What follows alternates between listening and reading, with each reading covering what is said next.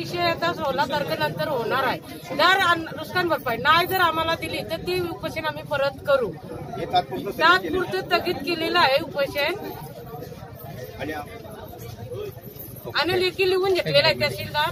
आता हेच जेवढं बोललं ना ते परत मला बोला मला फक्त परत बोलू?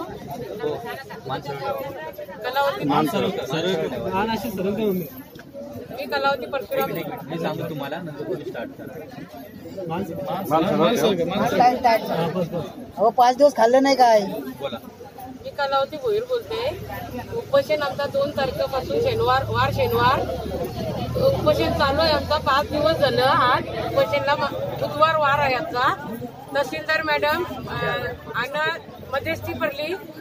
आणि एस पी साहेब काकडे साहेब आणि क्राईम ब्रांचचे साहेब पण होते. त्यांचे समोर आम्हाला तहसीलदार मॅडमने लेटर दिले आणि डेटपीटी साहेबांनी पण दिले. कुलकर्णी साहेब. कुलकर्णी साहेबांनी पण लेटर दिलं. आमचा उपोषण स्थगित ठेवलाय. सोळा तारखेपर्यंत सोळा तारखेनंतर आमची शिवोशी मिटिंग देतो असं सांगितलंय. चेअरमॅन आणि शिव. आणि तीन मागण्या मागल्या नुकसान भरपाई आणि नोकरी आणि दत्तक घेणे पांजेगाव यो आमचा सर्व नष्ट झालेला आहे तो आम्हाला मिळावा म्हणून आम्ही उपोषण भरपाई नुकसान भरपाईची मागितलेली आहे. तो आम्हाला मिळण्यासाठी आम्ही उपोषणला बसलेला आहोत. तो आमचा मिळला नाही तर आम्ही परत बसू उपोषणला. बघ.